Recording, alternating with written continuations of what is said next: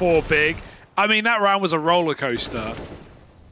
Back and forth, but ZTR stands above them all. And to think he was the guy with a knife out initially, no faith. Nice try on the clutch, but no kit either. Three kills for Krimbo, but